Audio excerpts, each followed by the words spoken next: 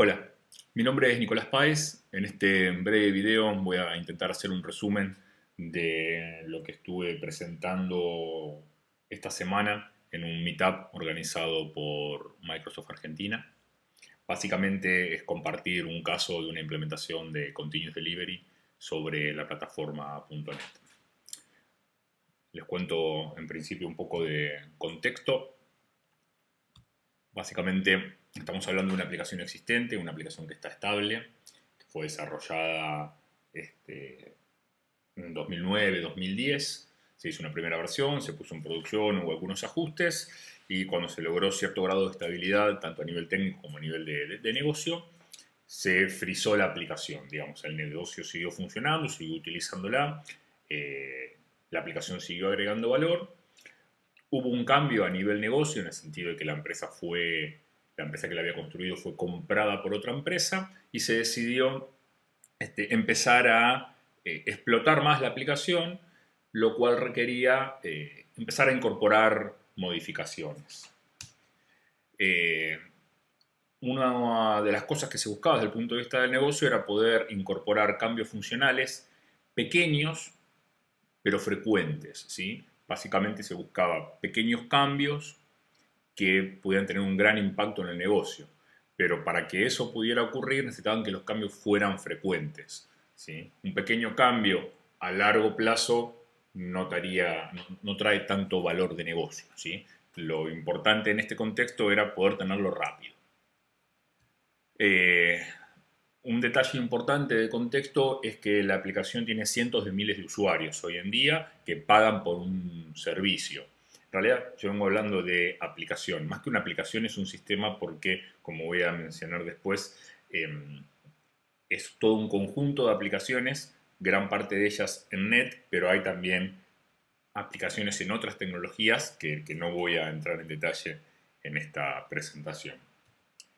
Eh, a su vez se da que, bueno, justamente por esta cuestión de que es un sistema en sí y que hay distintas tecnologías involucradas, realmente la arquitectura termina siendo compleja. A su vez, la gran cantidad de usuarios que tiene la aplicación también requiere que uno tenga una infraestructura acorde para poder soportar toda esa carga. Eh, por último, el último detalle de contexto interesante es que eh, para trabajar eh, en esta fase de la aplicación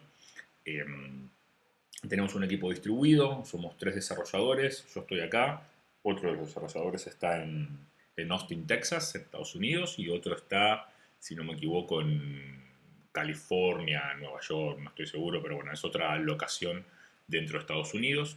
Y adicionalmente tenemos dos personas más también en Estados Unidos, junto con esta tercera de desarrollo, pero dos personas que se encargan puntualmente de lo que es la parte de este, prueba. ¿sí?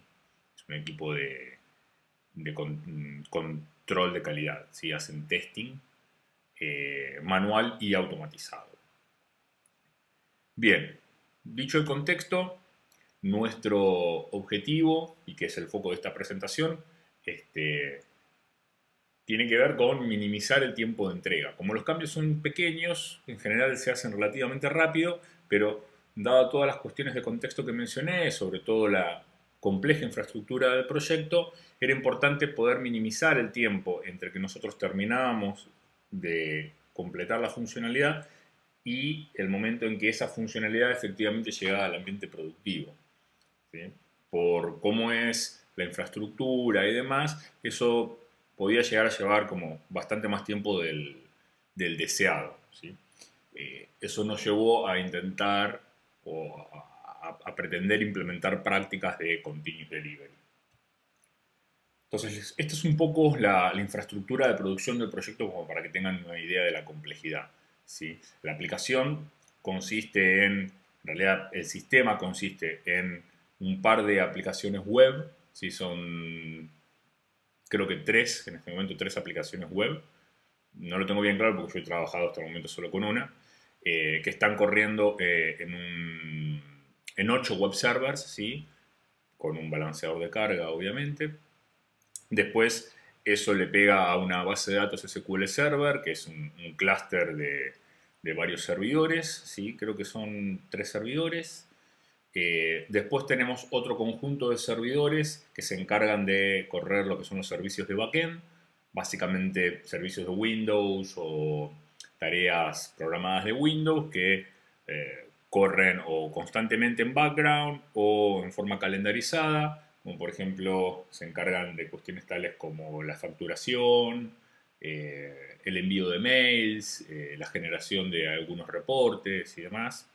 Y después tenemos toda una parte del sistema que corre sobre servidores Linux, que tiene que ver con cuestiones más de infraestructura de bajo nivel. Una de las patas importantes de la aplicación tiene que ver con eh, el manejo de, storage.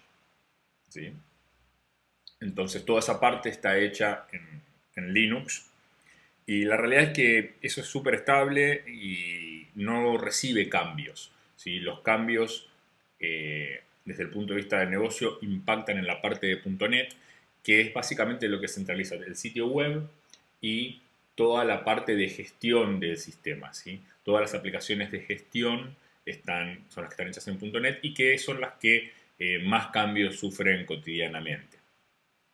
Por eso, eh, toda esta iniciativa que hicimos de Continuous Delivery afecta a la parte de NET. ¿sí? No voy, no voy a hablar ahora de, la parte de Linux porque en realidad esto que hemos implementado no toca la parte de Linux. Entonces, ¿cómo son nuestros ambientes para trabajar en este contexto más allá del ambiente de producción? En primer lugar tenemos lo que llamamos local dev, que es el ambiente en el que cada programador trabaja, mi máquina, Visual Studio y una serie de cosas este, instaladas ahí. Después tenemos lo que llamamos Cloud obviamente es un ambiente en la nube que, eh, es, mucho, no, que es mucho más chico al ambiente de producción, pero que es bastante más grande que, mi local dev. Básicamente Cloud Dev tiene eh, dos servidores web, un servidor de base de datos simple, digamos una, un server con un SQL instalado, nada de cluster, ¿sí? y un servidor Windows también con los servicios de, de backend.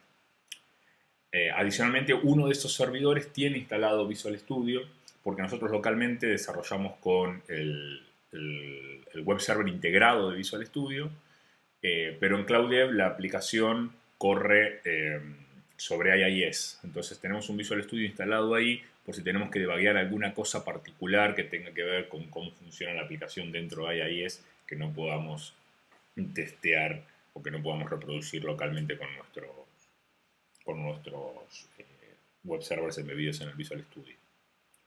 Eh, más allá de Cloud Dev, ¿sí? nuestro flujo de, trabajo es yo desarrollo una funcionalidad local en mi máquina, después eso se despliega en Cloud Dev, hago una prueba ahí funcional para asegurarme que efectivamente está corriendo. Una vez que doy el OK, la aplicación se despliega en un ambiente de testing.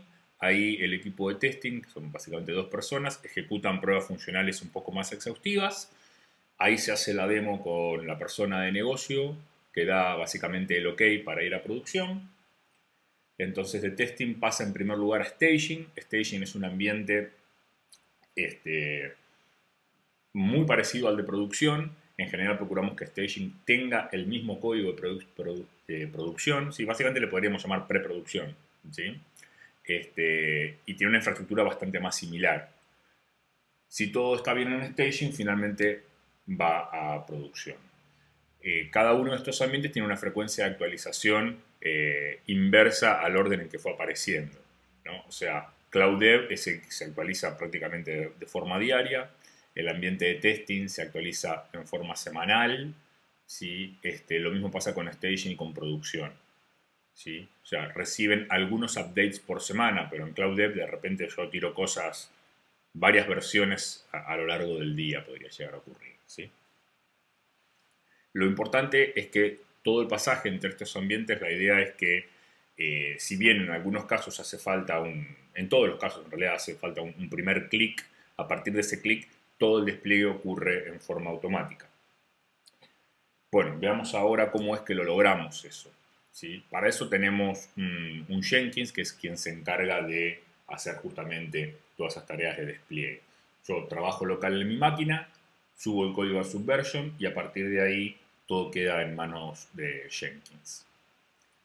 Eh, en realidad, esto es conceptualmente así, desde el punto de vista de implementación es levemente distinto porque hay dos instancias de Jenkins y demás, pero para lo que queremos mostrar acá no, tiene sentido entrar en detalle. Básicamente, para cada una de las aplicaciones que tenemos, y como les dije, son alrededor de tres sitios web y un conjunto de servicios de backend, eh, Jenkins tiene configurado un build shop que se encarga de correr eh, para cada uno de ellos integración continua, tomar el código, compilar, correr las pruebas unitarias. Y por otro lado tiene configurado diferentes jobs para hacer el despliegue de cada una de esas aplicaciones a cada uno de estos ambientes. ¿Cómo es ese proceso de despliegue? Básicamente nosotros partimos de un subversion para ir a un ambiente destino. Cloud Dev, testing, staging, producción, el ambiente que sea. ¿Sí? Jenkins en el medio va a ejecutar una serie de tareas que son las mismas independientemente del ambiente al cual eh, estemos yendo. En realidad no son exactamente las mismas, ahora voy a hacer una aclaración, ¿no? pero eh, podríamos pensar que son las mismas. En primer lugar, lo que hay que hacer es bajar el código. ¿sí? Eso lo hace Jenkins en, forma nativa, ya tiene plugins para eso. Estamos utilizando una serie de herramientas para, para, completar este proceso. Ahora voy a ir entrando en detalle en cada una de ellas. Pero en principio Jenkins tiene la capacidad de conectarse y bajar el código. Una vez que baja el código, utilizando un script de PowerShell, lo que hacemos es generar un, un archivo contiene la información de la versión que se está generando, la versión del binario. O sea, básicamente generamos un archivo que tiene el, el ID de Jenkins y tiene el número de revisión del SBN. Ese archivo que generamos eh, va a ser parte del paquete binario que vamos a desplegar luego en el servidor. Eso nos va a servir para tener una buena trazabilidad de qué versión está en cada ambiente y cómo se relaciona eso con Jenkins y con eh, la versión del código fuente en el Subversion. Luego de generar el, archivo de versión, lo que hace es crear un paquete, para esto se utiliza msbuild y msdeploy, que básicamente es una, una funcionalidad que trae la herramienta de que le das un archivo de proyecto, esto detecta todas las dependencias y genera un paquete, un zip, con todo lo que requiere esa aplicación para funcionar. Una vez que está generado el paquete, se envían los archivos al servidor destino. Una vez que los archivos son copiados a ese servidor destino, se configura eh, la aplicación destino, ¿sí? se ejecutan un par de scripts de msbuild que lo que hacen es setear algunas variables y algunos parámetros que son necesarios para que la aplicación funcione correctamente. A continuación se ejecuta la migración de la base de datos, para esto estamos utilizando Fluent Migration, Fluent Migrator, que básicamente nos permite eh, ejecutar en forma automatizada una serie de scripts que van a ir actualizando nuestra base de datos, que obviamente esos scripts los tendremos que escribir nosotros. Y finalmente lo que hacemos es correr un, smoke test para asegurarnos que la aplicación haya levantado correctamente. Ese smoke test básicamente se ejecuta desde Jenkins, es un script de PowerShell que lo que hace es pegarle a una determinada URL de la aplicación web, ¿sí? Y del lado de la aplicación web lo que tenemos es justamente una, página que le llamamos Health Check, que lo que hace es eh, intentar conectarse a todas las dependencias que tiene la aplicación. Intenta conectarse a la base de datos, al servidor de mail, por ejemplo, ¿sí? y verificar de forma rápida que la aplicación tiene eh, todas sus dependencias y que en principio está funcional. ¿sí? Si esa página devuelve unos cientos, básicamente es eso lo que está chequeando el, smoke test con, con PowerShell, ¿sí? Pegarle a una determinada URL y verificar que eso devuelve 200, con eso nos quedamos tranquilos que la aplicación no solo fue desplegada, sino que efectivamente está funcional. Bien, entremos un poco entonces en detalle en cada una de estas herramientas que estamos utilizando. Eh, en primer lugar, una, herramienta fundamental es MSBuild. ¿sí? Para los que no conocen MSBuild, básicamente podríamos definirlo como el make de .NET viene nativo con el, con el SDK de .NET. Básicamente es una herramienta que toma como entrada un archivo XML con determinada sintaxis, que es la que estamos viendo aquí, y ese XML le indica qué tareas tiene que ejecutar. Si en este caso tenemos una tarea que se llama eh, y que básicamente va a tomar una serie de archivos y va a invocar a NUnit. ¿sí? MSBuild viene con una serie de tareas que sabe interpretar. ¿sí? En Unit precisamente no es una de ellas. ¿Sí? Por eso es que además de MSBuild estamos utilizando un par de extensiones comunitarias que hay para MSBuild que nos traen, enriquecen a MSBuild con una serie adicional de tareas. ¿sí? Entre ellas, por ejemplo, la de ejecutar este, pruebas con en Unit. Además de MSBuild, obviamente, el corazón de todo este proceso es Jenkins. ¿sí? Entonces tenemos un, servidor donde está instalado Jenkins, solamente Jenkins, exclusivamente. ¿sí? Ese servidor tiene obviamente msdeploy porque tiene instalado el SDK de .NET para poder compilar y demás, con lo cual ya está msdeploy instalado ahí. Eh, perdón, está instalado msbuild ahí. Instalamos sí nosotros aparte msdeploy, que también es una herramienta de Microsoft, pero que uno la tiene que instalar aparte, no viene con .NET en principio. Y después tenemos instalado el Jenkins con una serie de plugins, porque el Jenkins en sí, este, out of the box, digamos, viene bastante pelado y las cosas generales que trae están más bien pensadas para trabajar con Java. ¿sí? Entonces tenemos que instalarle al Jenkins algunos plugins, como ser el, plugin de MSBuild, el plugin de PowerShell, de NUnit, y le instalamos también el plugin de Ruby, porque el equipo que hace pruebas, eh, las pruebas funcionales las automatiza utilizando este, Ruby. Bien, lo otro que estamos utilizando es eh, MSDeploy. Como les decía, es una herramienta que provee Microsoft, actualmente está en la versión 3.5. Si la buscan en la web van a ver que le llaman MSDeploy o WebDeploy directamente porque en principio la herramienta está pensada para hacer despliegue de aplicaciones web. Sin embargo, haciendo algunos retoques en la configuración, uno la puede utilizar para desplegar básicamente cualquier cosa. De hecho, nosotros estamos utilizando también para desplegar los servicios Windows.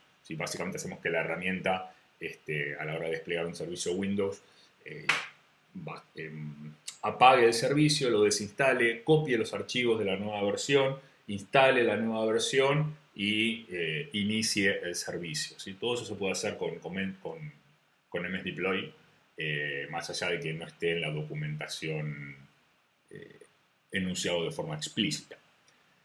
En sí este MSDeploy termina siendo un instalable, que lo pueden instalar tanto como pueden descargarse un paquete instalable, un MSI, o bien lo pueden instalar con el Web Platform Installer. Y tiene dos partes, si se quiere del lado de la aplicación que va, del lado del servidor, digamos, de la máquina que va a estar ejecutando el despliegue, en nuestro caso es un Jenkins, ¿sí? podría ser también mi máquina local, lo que voy a instalarme es un conjunto de librerías de MSDeploy que se van a integrar con, con MSBuild, también me va a, ejecutar, me va a instalar un, pequeño ejecutable, ¿sí? que es la parte cliente de MSDeploy. Del lado del server también se van a instalar una serie de librerías y se va a instalar un servicio.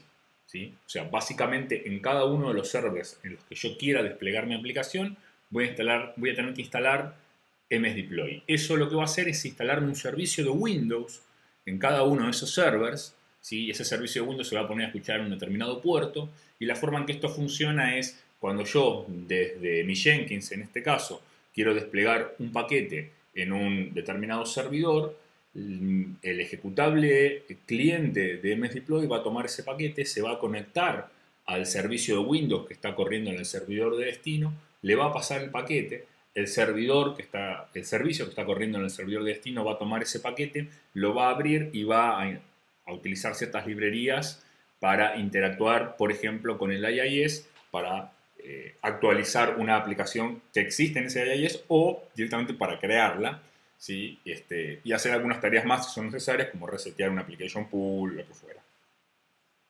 Bien. Esto es lo que tiene que ver con MSDeploy. Después la otra herramienta interesante que estamos utilizando es Fluent Migrator. Básicamente esta es una herramienta que nos permite tener cierto control sobre cómo va evolucionando nuestra base de datos. Lo que tenemos aquí es, o lo, la propuesta de la herramienta es, uno crea un proyecto de tipo Class Library, pone una referencia a Fluent Migrator y lo que vamos a tener es un DSL para escribir scripts que van a ir evolucionando nuestra base de datos. Por ejemplo, yo tengo que em, agregar una tabla en mi base de datos, entonces lo que voy a hacer es ir a un proyecto que voy a tener creado con Fluent Migrator y utilizando el DSL Fluid Migrator o directamente utilizando el, dialecto SQL correspondiente, voy a escribir el script para crear la tabla. ¿sí? Eso lo voy a compilar dentro de un assembly y después utilizando eh, msbuild o utilizando NAND o utilizando este, una herramienta de línea de comandos que provee Fluent Migrator, le voy a decir que ejecute ese assembly sobre una determinada base de datos dándole un connection string y Fluent Migrator va a fijarse cuáles de los scripts que están dentro de ese proyecto aún no fueron ejecutados y los va a ejecutar. La idea no es demasiado novedosa, está inspirada un poco en lo, que hacen las migrations de, Rails. Conceptualmente funciona de la misma forma. ¿sí? Esta herramienta va a crear una tabla adicional en nuestra base de datos, una tabla que se llama version info, donde va a ir registrando los distintos scripts que ya se fueron ejecutando. Eh, realmente nos, pareció muy piola y la tenemos integrada dentro del proceso de despliegue eh, de nuestras aplicaciones. Y bien, eh, esto es todo. Aquí tienen algunas referencias si, quieren profundizar.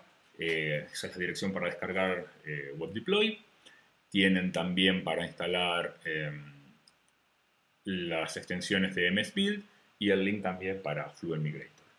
Bueno, esto es todo. Ahí tienen mis datos de contacto. me pueden buscar en Twitter como arroba y o en nicopaez.com está mi blog donde también suelo escribir cosas relacionadas a, a delivery y desarrollo de software en general. Gracias.